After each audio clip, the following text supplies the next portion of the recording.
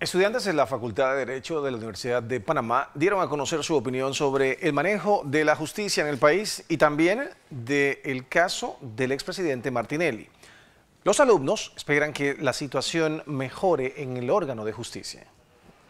Como estudiante de Derecho, en cuanto a lo que es el caso de Ricardo Martinelli, puedo decir que en mi concepto como estudiante, varios de sus derechos humanos fueron violados. Ahora, eso es algo que compete a las autoridades decidir, administrar justicia, como se dice, de tomar las cartas y tomar las medidas que realmente eh, la sociedad panameña necesita ver por parte del órgano judicial, de las autoridades del Ministerio Público. En el tema de medicamentos, entonces sí se le estarían violando los derechos, pero eh, como todo recluso, tiene derecho a los mismos. Así que si no se le ha brindado esto al, expresidente Martinelli, pues claramente se le están violando sus derechos. Bueno, yo pienso que ahorita mismo la justicia, esto realmente no está viendo justicia. Simplemente vemos todos los días de que nuestros administradores de justicia simplemente están rindiendo cuenta a los altos intereses económicos aquí en Panamá, a la clase alta aquí en Panamá, a las personas que manejan todo el sistema aquí en Panamá. Entonces, siento yo de que no hay justicia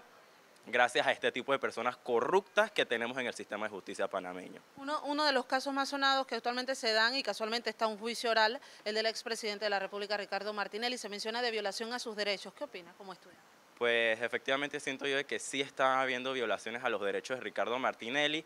Simplemente vemos cómo el presidente Juan Carlos Varela trata ahí después de de, hacernos creer de que hay justicia, pero realmente no está habiendo justicia en el caso de Ricardo Martínez. Y esperemos de que realmente este juicio oral sea llevado de la mejor manera posible.